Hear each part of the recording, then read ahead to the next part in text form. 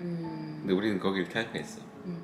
그래서 약간 탈피하면 어떤지 살고 싶은 데 살면 어떤지 그런 거를 좀 서울을 벗어나면은 과연 어떤 삶이 펼쳐질 것인가.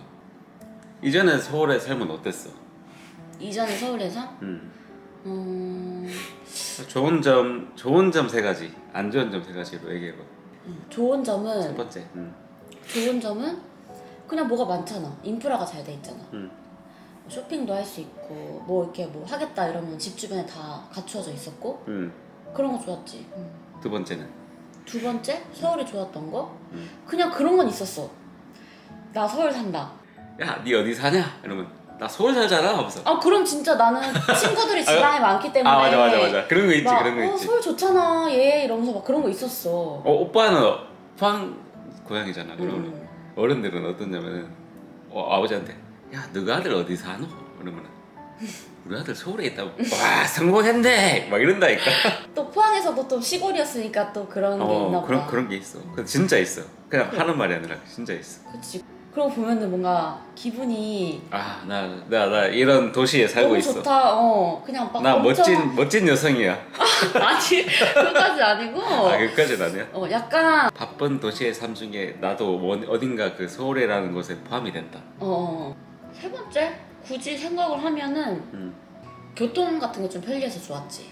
뭐 아. KTX도 다 잘 뚫려 있고 어딜 여행을 가든 맞아, 뭐 맞아. 멀어도 뭔가 빠르게 갈 수 있는 게 것들이 뭐 고속도로나 이런 게 다 잘 돼 있으니까 와 여기 버스도 진짜 많고 차 시간도 진짜 많고 대구를 가면서 오빠도 확실히 느꼈어. 여기에서 대구를 가면 5시간 걸려. 음, 음, 근데 서울에서 대구는 3시간 반이야. 음. 왠지 거리상으로는 비슷한 것 같은데 그거 말고는 그잘 아- 모르겠어. 그런 인프라는 첫 번째에 속하는 거고 세 번째는 교통으로 정리를 하면 되겠네. 음, 음, 음. 단점은 일단 좀 나 미세먼지 때문에 좀 힘들어했던 것 같아. 아 많이. 맞아. 자기가 뭐 미세먼지 나쁨 보통 살짝 이상을 벗어나면은 계속 뒤치기를 했어. 음. 코 푸느라고 하루 맨날. 종일 코 풀고 막 그랬었지. 어, 그래 정신 없었지. 그리고 딱 그냥 그런 거 있잖아. 밖에 딱 나갔어 어느 날 나갔는데 뿌예. 음. 안, 앞도 안 보여. 막 뿌얀 거야. 밖에 나가기도 싫고 뭐 어디 가기도 싫고 막 그렇단 말이야. 두 번째 단점? 교통 많이 막히는 교통이 거. 좋은데 어. 불편해. 그러니까 대중교통 이런 게 편리하다는 거지. 우리가 자차로 이동하면 좀 너무 맨날 막히고 맞아 맞아. 서울 내에서 이동해도 막히고 서울 외곽으로 빠져나갈 때 막히고 특히 주말에는 진짜 주말에 우리 맨날 속초 왔었는데 서울 빠져나갈 때 항상 막혔어. 속초 오는데 2시간 반 걸리면은 1시간은 서울 근처에서 들었던 것 같아. 응. 그래, 단점은 엄, 교통체증. 교통체증. 사람이 너무 많아. 차도 많고, 차도 너무 많아. 많다 보니 차도 많고. 음, 어디 가려면 너무 막혀. traffic이 심해. 음. 세 번째 음. 아 집의 quality가 너무 떨어져. 그게 엄청난. 집이 비싸다. 너무 비싸. 집이 비싸다. 비싼데 안 좋아 집은. 우리 그때 막 삼목조도 막 투룸, 뭐 쓰리룸, 뭐 쓰리룸이라도 뭐 이제 엄청 안 연식 좋은 오래된 거. 연식 오래됐거나 아니면은 진짜 서울이지만 문화 생활이 별로 없는 그런 외, 외곽 외딴 그런 그게 아니면은 서울 그런 문화를 다 즐길 수 있는 곳이면 비싸도 두름 어, 3, 4억의 집으로 좀 좋은 퀄리티의 집을 찾을 수는 없다는 거지. 일단 아파트는 뭐 꿈- 아파트는 꿈 도 어, 못 꾸고 꿈도 못 꾸고. 꿈도 못 꾸고 3, 그냥 4억으로는 택도 없는 빌라 느낌? 빌라 들어가야 되는데 그런데 뭐 들어가도 엘리베이터 없는 5층이라든지 어, 좀 오래된 건물. 뭐 오래된 건물 어, 벽지나 바닥 다시 해야 되구나. 아, 뭐 곰팡이 약간 있고 막 어. 어. 주거가 너무 비싸다 비싼데 quality는 떨어진다 음, 그게 엄청 큰 단점인 것 같아 그냥 구축 오래된 빌라가 그 돈으로 속초에서는 신축 아파트 음. 30평대 음. 살수 있다는 거. 첫 번째 그러면은 집이 좋아, 집의 quality가 좋아졌다. 음, 집이 quality가 좋아지니까 삶이 윤택해진다 그렇지. 이게 나는 서울에서 계속 우리 서울에서 살았잖아. 그러니까 막 에, 집이 뭐 좋아져 봐야 약간 이런 한계를 뒀었어. 근데 우리가 속초로 이사 오는 결심을 하고 여기 살다 보니까 음. 집이 너무 좋은 거야 일단.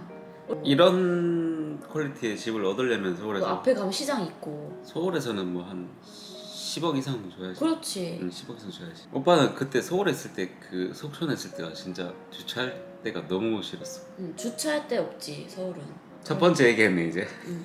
두 번째는 두 번째는 일단은 최고 장점이야. 우리가 좋아하는 곳에서 살고 있다. 음. 아 속초 살면 얼마나 좋을까. 아 그냥 여기 살고 싶다. 이런 말만 하지 실천을 옮기기 쉽지 않아. 근데 우리는 거기 살고 있는 거야 지금. 음. 우리가 좋아하는 곳에서 살고 있는 거야. 딱 어디서 일을 해야 된다 이런 게 없으니까 아무 데서나 살 수 있는 환경이 어쨌든 됐으니 맞아. 올 수 있었던 거잖아. 그래서 진짜 살고 싶은데 살아보니까 어때? 너무 좋지. 그냥 아직도 우리가 이제 속초 온 지 6개월 좀 넘었잖아. 음. 아직도 우리가 여기 살고 있다고? 너무 좋은데? 그래서 어떤 게 좋아? 그냥 바다를 마- 매일 볼 수 있는 것도 좋고 음. 그냥 바다는 봐도 봐도 질리진 않는 것 같아. 아직까지는. 오빠도 그래? 뭐 스노클링도 여름에 또 할 수 있고 밤에 나가서 막그 해산물 이런 거 보는 것도 재밌잖아. 뭐 낚시도 할 수 있고. 낚시, 어, 낚시도 언제든 할 수 있고 카페도 좋은 데 많고 맛집도 많아. 아 맞아 맞아. 그게 진짜 중요한 거야. 우리는 정, 정말 모르고 근데 왔잖아. 맛집이 많은 이유 관광지라서. 응, 진짜 그냥 우리는 근데 오빠는 좀 놀랬던 게 그냥 맨날 가던 데만 갔어. 서울에 있을 때는 주말마다 오니까 시간이 짧아. 1박 2일, 2박 3일이야. 길어봤자. 아 만석 닭강정 사서 먹어야지. 아니면 회 한 접시 할까? 뭐 이런 게 다였단 말이야. 맨날 그랬어. 지금은 이제 막상 살아보니까 그거 말고도 맛있는 게 많아. 어, 너무 많더라고. 그러니까 이 좁은 도시에 뭐가 있을까라고 생각을 했는데 막상 찾으니까 정말 맛있는 데가 많다. 고깃집도 맛집 많고. 그 나는 근데 일단은 기본적으로 그 3종 세트가 너무 좋아. 바다 볼 수 있고 호수가 너무 멋있고 아 호수가 진짜 이렇게 많은지 몰랐어. 어, 호수도 많고 멋있어. 청초수를 청초 좋지, 영랑호 좋지, 저기 뭐 송지호 저쪽까지 가도 좋지. 호수가 너무 아름다운 거야. 음, 근데 저, 저 뒤쪽으로는 또 설악산이 쫙 펼쳐져 있잖아. 맞아. 자연 경관이 끝내준다. 어, 자연 경관 너무 좋아. 모르지 젊은 사람들은 이런 거 안 좋아할 수도 있는데 우리는 적어도 그런 거 너무 좋아하잖아. 음, 맞아. 그런 뷰를 보고 살 수 있다는 게 진짜 뭔가 뻥뻥뻥 뚫려 있어. 관광지다 보니까 또 명소가 많아. 음. 나 오늘 그거 너무 좋았어. 해안도로로 쫙 이렇게 드라이브를 했잖아. 음. 근데 해안도로 따라서 그렇게 드라이브 하는 것도 너무 좋은 거야. 오빠는 하나 있어. 뭐, 좀 조용해서 좋아. 음, 서울에서는 물론 뭐 약간 이건 뭐 그때그때 기분에 따라서 다를 것 같은데 서울에서는 항상 막 북적북적하고 막 시끄럽고 약간 막 약간 이런 게 좀 있긴 해서 어딜 가나 사람이 너무 북적북적해. 뭐, 어, 뭐 마- 마치 갈, 마, 식당을 가든 어, 뭐 어딜 가든 기다려야 되고 음, 지하철 음, 이런데 진짜 지옥철이지. 그런 좀 북적북적한 게 너무 심하다 보니까 좀 답답한 게 있어서 오빠는 공기 좋다고 하니까 생각난 건데 서울에서는 자기가 미세먼지 때문에 비염도 엄청 심했고 그랬는데 여기 오자마자 바로 거의 싹 났잖아. 비염이 다 없어졌지. 어, 다 없어지. 서울에서 생긴 병이 아무튼 어쨌거나 싹 사라졌다. 음, 속초 와서 싹 치유가 됐다. 그리고 오빠도 피부에 그런 진먼지 알레르기 심해져가지고 약간 미세먼지 영향도 있을 거야 그거. 피부도 많이 나았고. 어 진짜 좋아졌어. 그러니까 육체적으로 좀 건강해지는 기분? 그런 거야 공기 맑다. 어, 그것도 장점이지. 엄청난 장점이지. 음. 캠핑이나 수영, 낚시 좋아하는데 또 그것도 우리한테 맞고. 뭐 그냥 걸어서 갈 수 있어 그러니까 우리한테 좀 맞는 게 많아 이 동네는. 캠핑하러 걸어서 갈 수 있어 음. 수영하러 걸어갈 수 있어 그런 게 너무 좋아 음. 그냥 바로 앞에 바닷가야 우리 마음이라는 게 좀 여유로워진 것 같아. 아 여유, 여유가 생- 그 약간 오빠가 얘기한 그런 느낌인 것 같은데 답답하다 했잖아 음. 근데 답답하고 여기서는 나도 뭔가 빨라야 될 것 같고 빨리빨리 막 해야 될 것 같고 뭔가 다 빠르고 복잡하고 이런 느낌이라면 여기는 그냥 느긋 뭔가 마음이 느긋해진다고 해야 되나? 그러니까 장심이 너무 길어지다 보니까 단점 세 가지 짧게 얘기해보자 이거는 그렇게 큰 단점인지는 아직까지는 와닿진 않는데 의료 같은 거? 아 의료 어, 좀 내가 갑자기 뭔가 아프고 이러면은 병원 이런 게 좀 어딜 가야 되나? 바로 생각할 문제는 아니니까 엄청 와닿진 않는데 우리가 병원을 뭐 자주 다니는 스타일도 아니고 별로 혹시- 아프진 않지 우리가 음. 음. 그런 거 있고 두 번째 뭐 쇼핑을 한다든지 좀 뭐 문화적인 그런 활동을 한다든지 그런 게 좀 부족하긴 하지. 음. 근데 우리가 필요한 건 다 있는 것 같긴 한데 또 아닌가? 아큰 거 있지. 뭔데? 교통. 아 뼈저리게. 느끼고 아 있지. 그지 그지 이거는 우리가 생각을 생각지도 못하고 이사를 이제 왔는데 교통이 불편하다. 이게 산맥이 막혀 있다 보니까 길을 생각보다 삥 둘러가는 느낌이야 음. 그러니까 차 타고 이렇게 가려면은 와 너무 고대 뭐 서울 갈 때는 좋아. 서울만 잘 돼 있어. 서울만 잘 돼 있어. 그러니까- 그래서 서울 빼고는 다 너무 멀어. 음. 엄두가 안 나. 뭔가 살짝 고립된 느낌? 음, 요, 너- 요 산에 뭔가 고립된 느낌. 어, 깨알로 좀 좋은 점이라면은 양양 가면 공항이 있기 때문에 제주도 가기 편하다.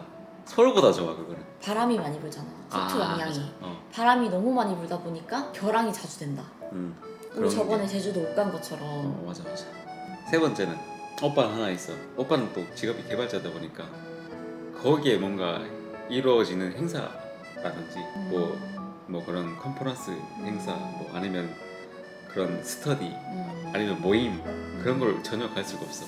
음. 바로 다 접어야 돼. 나는 못 가. 그렇지 그런 건 다 서울에만 있으니까. 근데 이건 뭐 오빠의 오빠만의 단점일 수도 있긴 하겠다. 단점이 별로 없어 사실. 우리는 지금 너무 좋은 경험을 하고 있는 거야. 음. 초에 한 달 살기 이런 거 많이 하러 온다고 하잖아. 우리 2년 살기를 하러 온 거야. 맞아. 맞아 맞아. 그 어제 고깃집 아주머니 한 얘기처럼 한 달 살기 1년 살기 하러 왔다가 눌러붙은 사람 많다고 그 우리의 삶은 어떻게 될지 우리도 모르는 거야 모르지. 그때 내키는 대로 하면 돼 뭐 일단 뭐 여기서 11월 달에 와서 이제 6월이니까 한 7개월 됐네. 7개월 살면서 느낀 장점과 단점. 현재까지 우리가 느낀 이런 그런 생각은 더 좋은 점이 많다인 것 같아. 여러분들도 속초로 살러 오십시오. 오늘은 여기까지 참피디야